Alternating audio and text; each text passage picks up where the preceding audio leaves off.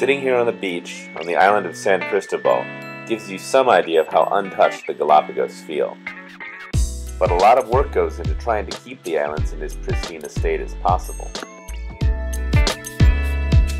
In reality, the islands have been changed a lot by the arrival of humans and the many invasive species that came along for the ride. Today, before you even board the plane, the luggage is screened and searched for seeds, animals, and other material that might pose an ecological risk.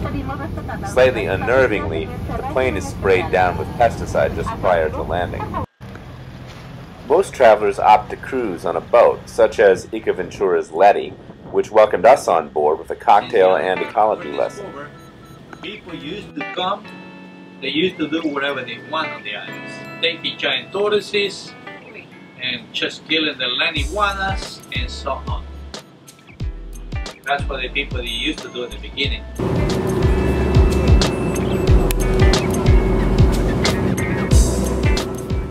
Each day includes well-organized landings by dinghy on different islands with different things to see.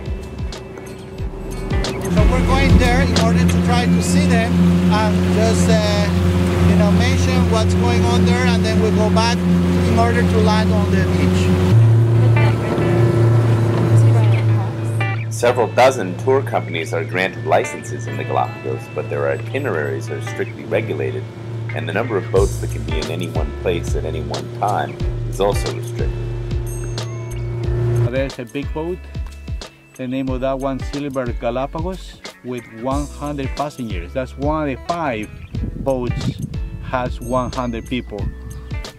But if you take a look, there's no any other people around because the number of people in each visitor site can be no more than 100. We start San Cristobal, and then Monday used to be Genovesa, Tuesday uh, North Seymour, and a place in north face of Santa Cruz, uh, Dragon's Hill, and then Wednesday to the youngest island Fernandina. In a nutshell, the current strategy of limiting tour numbers and access seems to be working, with native species on a rebound and a generally clean environment. But with ever increasing pressure for more tourists to come to the islands, the future does remain uncertain.